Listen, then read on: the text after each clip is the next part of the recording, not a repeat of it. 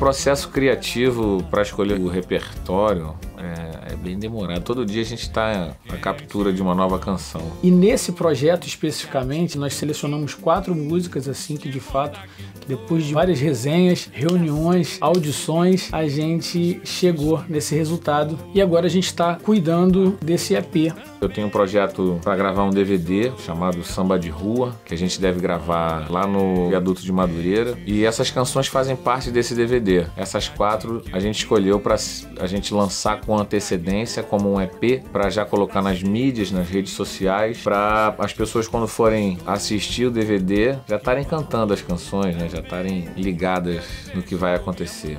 Corrida corrente da dor pro pacto que impactou.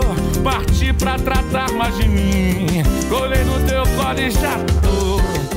E a gente, para esse EP, a gente só trouxe especialistas aí. A gente trouxe Prateado, assim como J. Moraes, vários super músicos aqui e graças a Deus são grandes amigos também, enfim. É, há sempre uma preocupação, né, da gente assim, é, pô, será que ele vai gostar? Será que ele vai curtir o arranjo? A gente sempre cerca de cuidado, né? Aí a gente gravou, isso aí ele parece que gostou muito e eu fico muito contente com isso.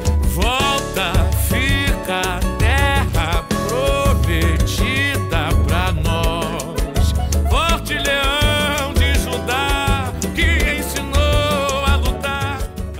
procura trazer a roda de samba, aquela energia eufórica que acontece numa roda de samba, para dentro do estúdio do nosso jeito. O gênero assim samba ele tem muito a ver com isso, né? Com a questão da energia das pessoas, todo mundo que está envolvido ali tocando junto, todo mundo é, doa um pouco desse desse astral, desse clima e tal para para coisa acontecer dessa forma, né? Então a gente decidiu agora nesse, nesse processo é, de tentar gravar o Diogo é, pela autoridade que ele tem cantando, sabe? Por ele ser um cara muito assertivo cantando, tem um timbrão lindo. Eu falei, pô, por que não nos arriscarmos e colocarmos o Diogo dentro da base e ver qual vai ser o resultado? E graças a Deus a gente teve um resultado muito bom aí.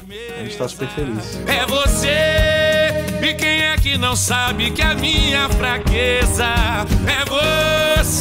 E quem é que não sabe agora vai saber. Embola, embola aí. Então, galera, fiquem ligados aí, já já o EP do Diogo Nogueira. Embola aí, que eu estou com saudade. Mata a minha vontade.